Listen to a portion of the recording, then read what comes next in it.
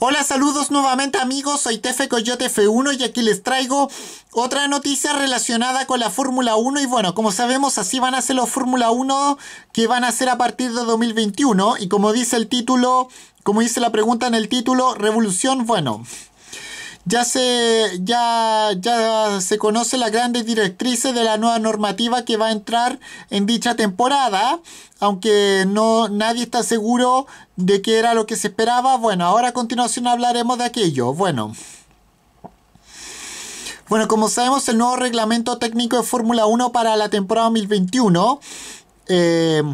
comienza ya a tomar forma, ya, ya con un retraso, bien notable. Y bueno, tras años insinuando una, una gran revolución en la parte mecánica con una simplificación de la hibridación a través de los de, para atraer a nuevos a, nuevas eh, marcas. Eh, incluso con posibilidad de adelantarlo para el año próximo, es decir, 2020, finalmente se quedará principalmente en cambios aerodinámicos. Bueno.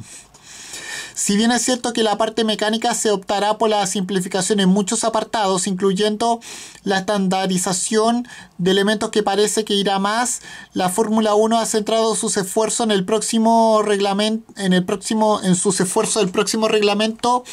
en, el, en, en en abolir las eh, turbulencias y permitir que los monoplazas puedan rodar unos cerca de los otros. Y bueno, a modo de sondeo para comprobar la aceptación del público, la FIA y la Fórmula 1 eh, habló con varios medios, como por ejemplo la página web motorsport.com,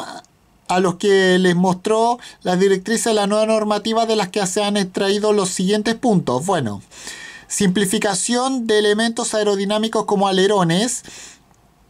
creación de elementos como deflectores para eliminar las turbulencias, aumento del efecto suelo con grandes difusores, limitación del uso del túnel del viento en un 40%, simplificación en los radiadores y los sistemas de combustible, congelación de elementos como caja de cambios, simplificación de las suspensiones, estandarización de elementos, eh, de elementos como llantas, eliminación de mantas térmicas y estandarización de equipamiento y búsqueda de neumáticos más constantes. Bueno, la intención inicial tras esas directrices es la ya conocida de eliminar las turbulencias que provoca la pérdida de carga aerodinámica al rodar cerca de otro automóvil dejando la mencionada pérdida eh, eh, con, un con, solamente un 10%, lo que permitirá eh, que se vivan más luchas en la mayoría de, de las pistas, aumentando en cierta medida el espectáculo. Bueno, no obstante, ni Liberty Media ni la FIA están del todo satisfechos con estos, con estos primeros puntos que deberían ser aprobados por los equipos